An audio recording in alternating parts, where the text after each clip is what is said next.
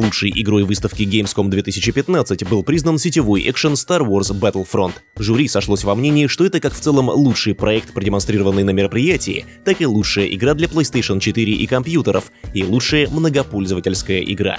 Кроме того, новое творение DICE получило приз зрительских симпатий. Лучшей игрой для Xbox One при этом была признана Metal Gear Solid 5 The Phantom Pain, которая, впрочем, выходит на всех актуальных платформах. Случится это уже 1 сентября.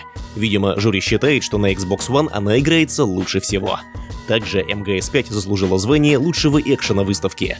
Лучшей ролевкой стала Dark Souls 3, а лучшим гоночным симулятором ожидаемо Forza 6. Приз лучшей стратегии достался, что странно, игре Unravel, которая делается шведской студией Coldwood Interactive при поддержке Electronic Arts. Понятно, что в стратегиях сейчас безрыбье, но на выставке была как минимум Enno 2205 немецкого же производства, а Unravel вообще не стратегия, а вполне очевидно платформер с решениями головоломок. Еще любопытно, что ни одной награды не получила Fallout 4, хотя на E3 именно она была признана лучшей игрой выставки, лучшей RPG и лучшей игрой для PC. Между тем, пока Bethesda активно доделывает четвертый Fallout, фанаты уже с нетерпением ждут новостей о шестой игре во вселенной The Elder Scrolls. Однако рассчитывать на то, что студия ее выпустит в ближайшие пару лет, не стоит.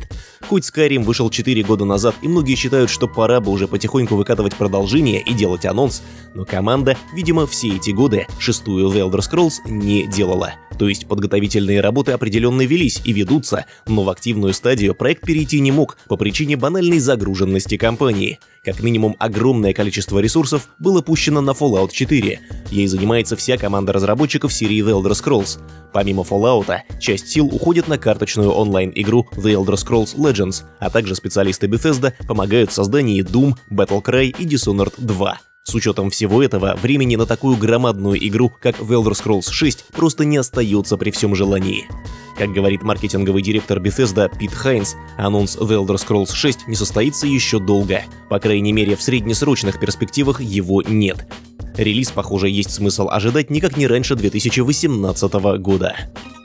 Nokia в скором времени вернется на рынок смартфонов. В 2013-м, если вы забыли, бывшую национальную гордость Финляндии, мобильное отделение Nokia, с потрохами выкупила компания Microsoft, заплатив более 7 миллиардов долларов. Вынужденные бороться с банкротством руководители Nokia тогда подписали договор с одним важным условием. Microsoft запретила финской компании выпускать смартфоны до 2016 года. Nokia последние годы пыталась кое-как отыскать свое давно потерянное место на рынке, запустила в продажу планшет Nokia N1, а также недавно представила камеру для съемки панорамного видео Nokia Ozo.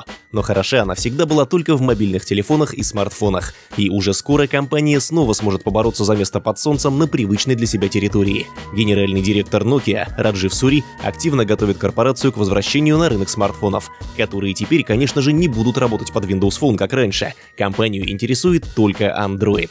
Вопрос только один – понимает ли Nokia потребности современного пользователя и сможет ли спустя столько лет бездействия выпустить что-то актуальное и нужное, или же будет завоевывать покупателей исключительно громким брендом. Между тем, ищет свое место на рынке смартфонов и сама Google. И если Apple выпускает самые дорогие мобильники, то поисковый гигант, напротив, пытается удовлетворить потребности потребителей, которые не хотят платить за смартфон большие деньги – Google как-то уже запускала программу бюджетных смартфонов и продавала свои гаджеты всего за 100 долларов. Однако этот опыт особых успехов не принес, спрос был очень низким. Ну, видимо, дороговато, подумали директора Google, и теперь собираются запустить на рынок смартфоны, которые стоят вдвое дешевле, всего около 50 баксов. Будут вроде как даже модели долларов за 30-40. Первые такие гаджеты поступят в продажу на территории Индии. Правда, пока не объявлено главное, насколько технологичной будет их начинка. Похоже, работа над новым фильмом по вселенной Mortal Kombat сдвинулась с мертвой точки. Студия New Line Cinema после продолжительного бездействия наняла продюсера для картины. Им стал Джеймс Ван, работавший на этой же позиции, что характерно, над не менее кровавой серией «Пила». Он же, собственно, и снял самую первую часть одного из самых ярких триллеров, а сейчас параллельно работает над «Пилой 8». Похоже, Mortal Kombat, которую трудно представить без мяса и вываливающихся наружу внутренностей, в надежных руках. Что касается режиссера, то New Line Cinema до сих пор в поисках.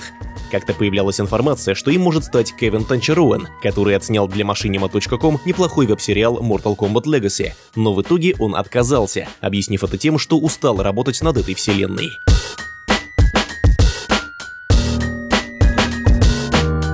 11 августа 1906 года в Англии впервые было запатентовано звуковое кино.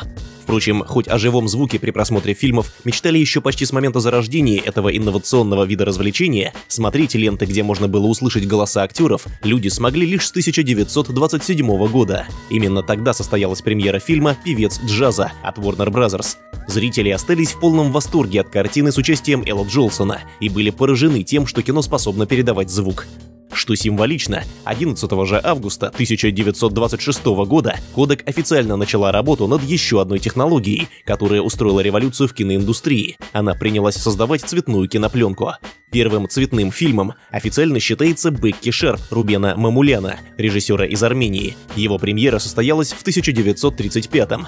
По крайней мере, это точно первый цветной полнометражный фильм. На самом деле попытки раскраски были еще в 19 веке.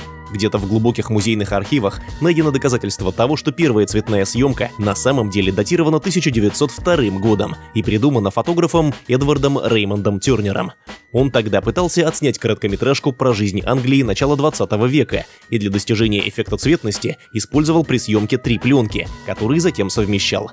Картинка, правда, получалась очень размытой и некачественной, но Тернер не успел довести технологию до ума, так как скончался до того, как закончил работу над короткометражкой. Еще интересно, что в СССР первый цветной фильм появился еще в 1925-м, за год до того, как Кодек анонсировал работу над цветной пленкой. Это был «Броненосец Потемкин». Правда, конечно, технически фильм был черно-белым, но в нем был очень умело раскрашен красный советский флаг, поэтому его справедливо считать первой цветной российской лентой.